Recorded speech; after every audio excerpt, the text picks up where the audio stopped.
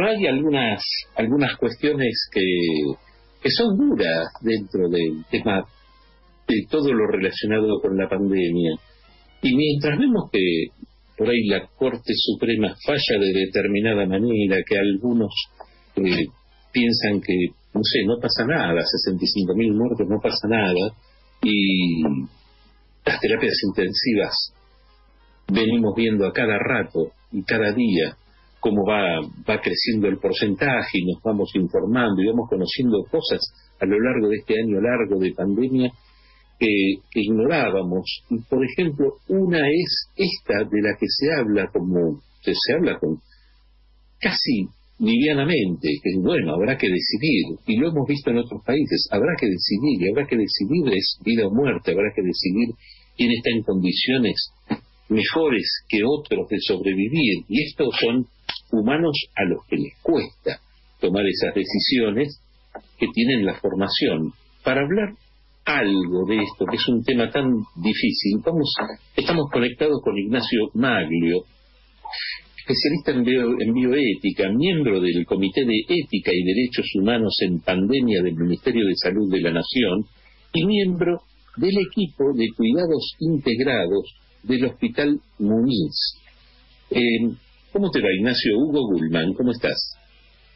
Hola, Hugo, ¿cómo estás? Gracias por llamarme. No, todo lo contrario. Eh, es un tema tan difícil de conversar este, porque eh, parece una teoría, decir, vamos a hablar de la vida o la muerte, contame teóricamente cómo se decide quién sigue y quién no, pero es vida, es comunicación con los familiares, eh, esto me parece que, eh, y es gente que toma la decisión y que después se va a dormir a la casa y está con la familia, lo cual debe ser una cosa sumamente complicada, ¿no? De, de, de, elaborar, ¿no? Contanos cómo es esto, Ignacio. Sí, mira, bajo todo punto de vista. Yo, en síntesis, te digo que en 40 años de práctica hospitalaria en el Hospital Muñiz y luego de, cinco pandemias, este, algunas bravas como la primera pandemia de VIH-Sida, nunca pensamos eh, y nunca pensé que tendríamos que atravesar situaciones como esta. Te soy honesto, el Hospital Muñiz es un centro de referencia, es un, un hospital monovalente de atención de patología y efecto contagiosa donde siempre funcionó con dos unidades de terapia y una unidad de terapia intensiva y hoy tenemos seis salas habilitadas de terapia intensiva con una ocupación prácticamente del 98 punto y pico por ciento, así prácticamente no tenemos camas, y en donde lo que nosotros quisimos evitar a partir de este equipo de cuidados integrales que se creó el año pasado es ofrecer una respuesta y compasiva, digamos, en el mejor sentido de la palabra, tanto a los compañeros y las compañeras que trabajan en las unidades de cuidados críticos como a, las, a los pacientes y a, las familias o a los allegados. Y en este sentido desarrollamos unas guías que tienen que ver con tratar de definir con claridad, de forma transparente, pública, objetiva, guías de asignación de criterios para el ingreso a terapia intensiva. Eso lo trabajamos el año pasado, inclusive siguiendo los lineamientos de un documento que publicó el Comité de Ética y Derechos Humanos del Ministerio de Salud que también integro, digamos, y como institución le dimos un perfil propio de acuerdo a nuestras características propias, los recursos físicos y humanos. Lo que nosotros queríamos era que no pasase lo que pasó en Italia, en los comienzos, en el norte, en la región de Lombardía, donde médicas y médicos intensivistas tenían que tomar decisiones trágicas y donde, por ejemplo, uno de los criterios que utilizaban era la edad. Personas adultos mayores que quieren ingresar a una terapia intensiva. Eso de alguna forma el año pasado lo evitamos, porque no fue necesario, no tuvimos un nivel de saturación de los servicios como tenemos ahora. Hoy ya, digo, lamentablemente, estamos en una situación, digamos, de, nosotros llamamos medicina de desastre o medicina de catástrofe, donde tenés que tomar estas elecciones que son, que son seguramente difíciles. Claro, y aunque se colocaran más camas, como hemos hablado muchas veces con sanitaristas o, con diferentes especialistas, eh, se colocan más camas, pero tampoco hay recurso humano para atender a, esa nueva población de internados. ¿no? me imagino que ahí debe haber un esfuerzo muy, muy grande. ¿Cómo, ¿Cómo se conforman los equipos? ¿Qué, me imagino algo multidisciplinario que, toma una decisión. Sí, sí, sí, tal cual. Es un, es un enfoque absolutamente interdisciplinario, intergestivo. El equipo que nos integrales lo forman, digamos, este, médicas, médicos, enfermeras, enfermeros, eh, técnicos, eh, por supuesto, muy importante la colaboración de todas las trabajadoras del campo de salud mental, tenemos psiquiatras, psicólogas, psicólogos que están trabajando activamente, porque aquí hay una hay que considerar una, una dimensión, digamos, eh, global, una dimensión de lo que significa el sufrimiento total, ¿no? Donde hay sufrimiento moral, social, físico y espiritual. Entonces, necesariamente esto requiere un, abordaje holístico, intergestivo y multidimensional. Y también eh, una de las cuestiones, digamos, que nos está preocupando muchísimo hoy es no solamente tener criterios de ingreso y afinar los criterios de ingreso, sino, eh, como nos ha pasado el fin de semana, también establecer criterios de egreso de terapia intensiva. Esto significa plantear modelos de suspensión de tratamientos y retiro de soporte vital. Y esos casos también, como te imaginarás, son, son casos absolutamente, digamos, este, fronterizos, ¿no?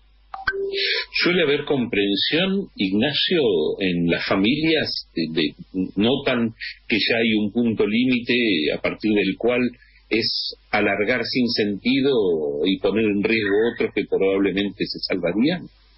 Es una muy buena pregunta, porque vos sabés que esto nos, nos reconstituye y nos, nos religa como, como, como comunidad.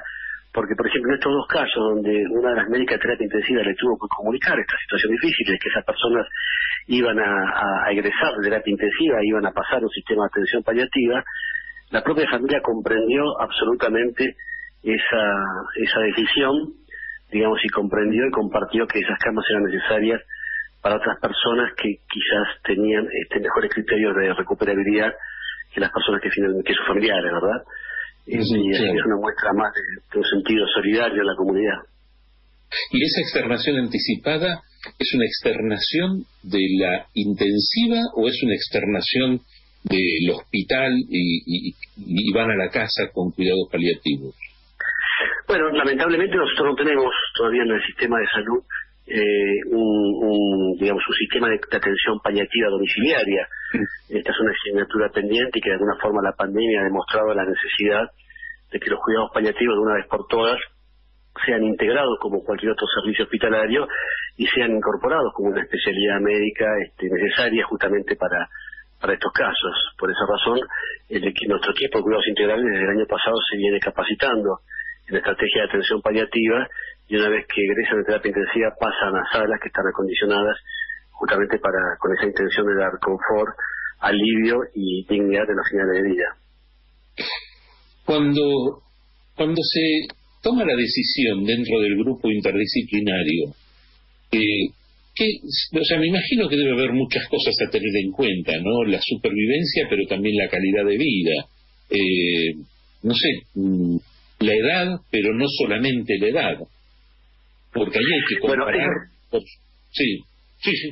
No, no, disculpame, pero ese es un, buen punto, no que dejarlo pasar por alto el tema de la edad, porque como te comentaba antes, en Italia al comienzo, eh, y, y estos médicos, estas médicas que tomaron las decisiones, hoy están pagando las secuelas trágicas, personales, psíquicas y morales de haber tomado esas decisiones, y entre otras, entre otras, la de haber establecido criterios de asignación primaria en base a la edad. Y esto fue, incluso en España, muy cuestionado por el, el, Comité Nacional de Bioética Español, porque claramente esta era una estrategia eh, catalogada como ajeísmo, viejismo o edaísmo, que es la discriminación a adultos mayores. Pero nosotros en estos contextos, como te decía antes, de medicina de desastre, eh, la edad la hemos incorporado como un criterio de asignación solamente secundario. ¿Qué quiero decir con esto? Como bien vos decías, cuando dos candidatos, por llamarlo de alguna forma, eh, competidores por ese recurso escaso, empatan en dos criterios que para nosotros son fundamentales, que son la gravedad de la enfermedad y el criterio de y la, y la prognosis de recuperación, el pronóstico, recién ahí, recién ahí, la edad puede otorgar un punto, un score adicional. Mm, claro, claro. Eh, ¿Sabes qué me gustaría preguntarte? Cuando, o sea, cuando, cuando ves cosas, eh, te lo deben haber preguntado 20 veces, ¿no? Esto me imagino, pero eh, tipos como los boludos del fin de semana con las fiestas clandestinas, un irresponsable que se sube a un avión sabiendo que está contagiado, seguramente para ahorrarse unos mangos, para no quedarse solo en Estados Unidos Eh, ¿Qué se te cruza por la cabeza? Sabiendo que la... esta cotidianeidad, ¿no? Sí, yo te digo la verdad, da mucha bronca, da mucha bronca, da mucha impotencia. Imagínate que en el hospital Muniz las trabajadoras y los trabajadores de salud vienen haciendo un esfuerzo, yo estoy seguro, denodado, heroico. No me gusta llamarlos heroicos porque, o superhéroes porque no son superhéroes, son trabajadores y trabajadoras de carne y hueso que aman, piensan y sufren, y también tienen miedo, y también tienen que volver a sus casas con esa angustia, y ya pasó mucho tiempo, ¿viste? pasó un año y dos o tres meses, y, y da bronca porque, a, ver, yo lo que quiero decir es lo siguiente, son pocos pero hacen mucho daño, ¿viste? Eh, porque yo creo que, como el ejemplo que te antes, la, inmensa mayoría que yo creo que de, de la gente, del pueblo, es solidario, eh, pero esta gente, viste, que yo lo llamo a veces estos movimientos negacionistas o terraplanistas sanitarios, eh, quizás un poco, pero provoca mucho daño. Entonces, a lo que nosotros apostamos es a, recuperar esa ética colectiva que alguna vez estuvo tan presente, en donde la ética del cuidado, el compromiso con el otro, eran, eran digamos, eh, este, eran frecuentes, ¿no? Nosotros este, recordamos a algunos maestros de la medicina que nos enseñaron que en tiempo de pandemia la solidaridad no es la mejor opción, sino que es la única opción. Claro, claro, claro. Eh, bueno, la verdad te agradezco mucho. ¿Hay algo que te puede interesar decir que no te haya preguntado? Porque a veces por ahí capaz que tienen algo que te resulta importante destacar y uno se la pierde, no la, no la pregunta. No, no, no, nada, no, no, por favor, todas tus preguntas fueron absolutamente pertinentes y y tienen que ver justamente con lo que estamos viviendo, con lo que está pasando y, y, yo creo que también saber preguntar es un arte, por lo cual te agradezco mucho.